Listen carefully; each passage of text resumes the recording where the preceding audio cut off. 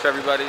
Yeah, after having an opportunity to kind of sit on it for a little bit and just really thinking about how we really uh, broke the team up uh, pretty much throughout the country, four different spots. You know, when you have uh, an American record that uh, you know that's that's broken, uh, actually two American records by you know two of your you know volunteer assistants, and then two guys break the collegiate record. You know, uh, you know in the same race, Lawi and you know and Stephen. I mean, it's it's a great weekend you know all the way around for the distances and you uh, all the kids that went up to Seattle.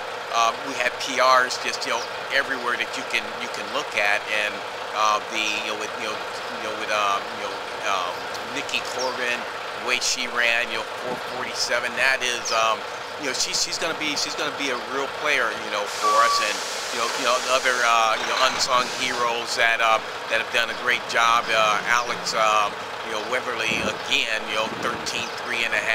Uh, that you know, just, you know, it excites the rest of the team. All the sprinters, uh, female sprinters ran very, very well.